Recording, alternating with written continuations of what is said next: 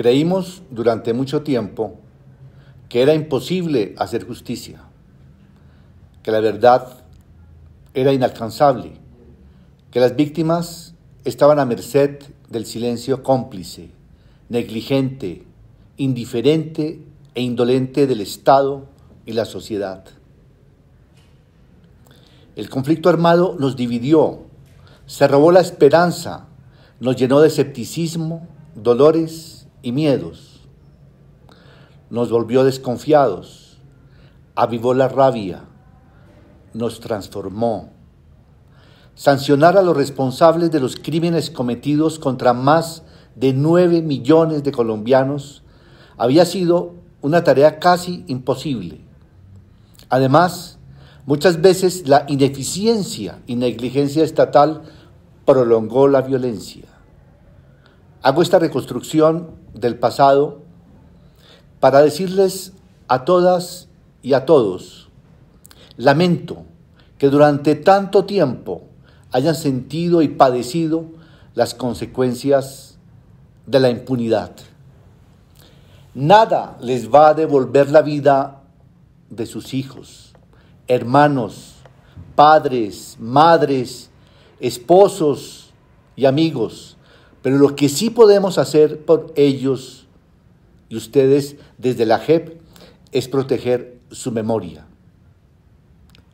restituir sus derechos vulnerados, desenterrar la verdad, acabar con la fuente de impunidad, rescatar la dignidad y devolverles una parte de su tranquilidad.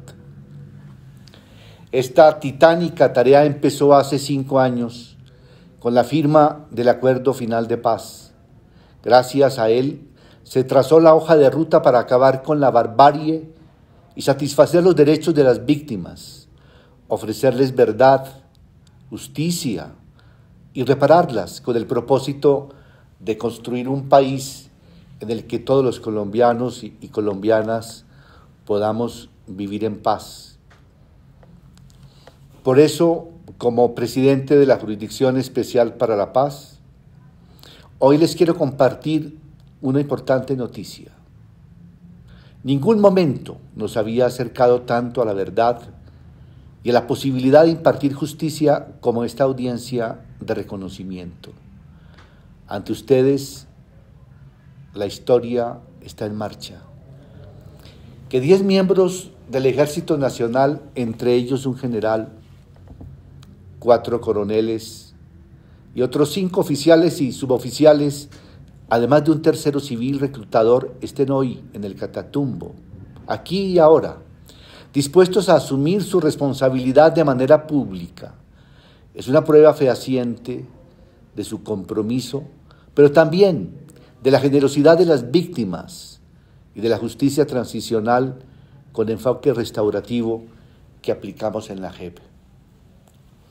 Estos comparecientes van a reconocer sus responsabilidades después de que la JEP les imputó el crimen de guerra, de homicidio en persona protegida y los crímenes de lesa humanidad, de asesinato y desaparición forzada ante el ataque generalizado y sistemático contra la población civil por los hechos que el país conoce como los falsos positivos.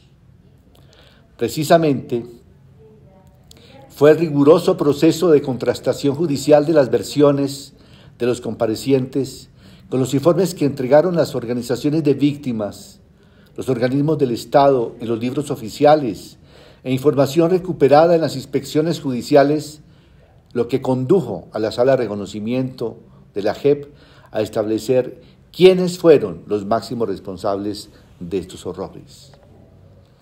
La JEP superó el umbral de verdad que ya se había conocido en la justicia ordinaria y logró reconstruir la magnitud de los delitos imputados, la evolución de las prácticas, las dinámicas que alimentaron las atrocidades, los impactos físicos y psicológicos sufridos por las víctimas y sus familias, así como las políticas sin las que estos delitos no, se hubieran, no hubieran ocurrido. La JEP le presentó al país la radiografía más completa que se conoce sobre los falsos positivos, en una de las regiones más afectadas por este fenómeno criminal, norte de Santander. Por primera vez, la justicia determinó que los asesinatos y desapariciones forzadas presentadas como bajas en combate por agentes del Estado fueron el resultado de una política institucional que estableció el cuerpo del enemigo caído en combate como el indicador principal del éxito del esfuerzo militar. Un patrón criminal con dos modalidades sucesivas que hoy sabemos que se distinguen por el perfil de las víctimas. Ser agredidas por quienes deberían haberlas cuidado es aún más doloroso, pero los esfuerzos ingentes por levantar ese manto de impunidad y conducirlos a ustedes, los suyos y el país a presenciar el reconocimiento de los hechos y los crímenes hace parte del mandato que tiene la JEP y que se cimienta en la aplicación de la justicia restaurativa. Justicia esta, que empieza a reparar mucho antes de que se conozca la sanción y trabaja por comprender el daño causado, haciendo partícipes a las víctimas que buscan una solución a lo que vivieron. A través de esta primera audiencia de reconocimiento, la JEP le traza a Colombia el camino que transitaremos durante los próximos meses, hasta la imposición de las primeras sanciones que se les aplicarán a los responsables de los crímenes más atroces perpetrados en más de 50 años de conflicto armado. Este reconocimiento, del que será testigo el país y el mundo, es un elemento esencial del sistema integral para la paz y en particular de la JEP en la medida en que materializa los compromisos que tienen todos aquellos que tocan sus puertas para resolver su situación jurídica, lo cual les permitirá reincorporarse a la sociedad.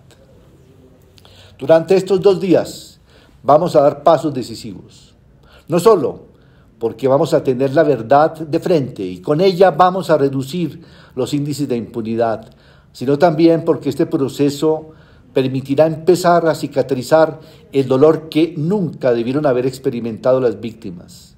Sanar no solo será un proceso personal, sino también colectivo. Las víctimas rescatarán a sus seres queridos de la deshonra a la que fueron sometidos.